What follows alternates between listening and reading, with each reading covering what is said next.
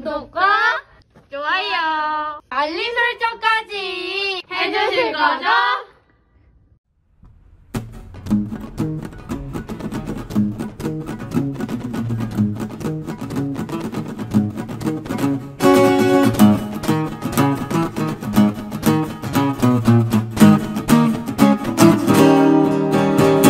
여보세요.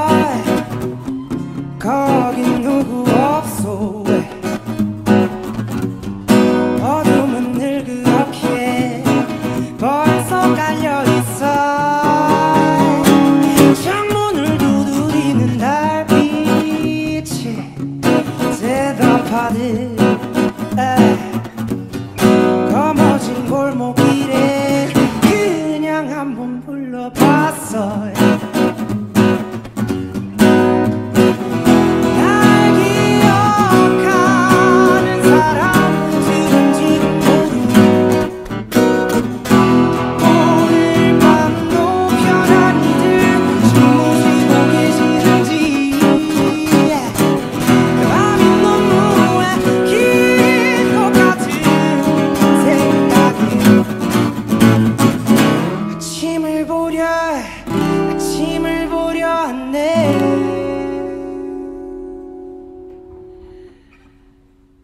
아침을 고요하네. 여보세요 거긴 누구 없소. 여보세요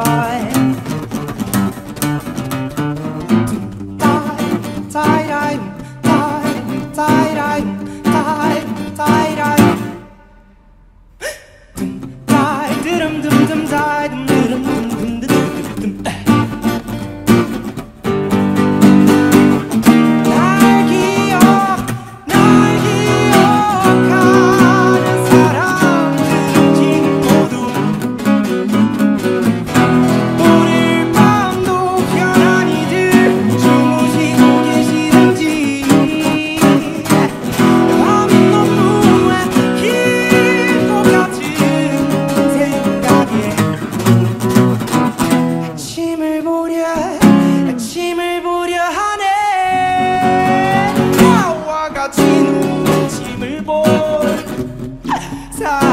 적이 없어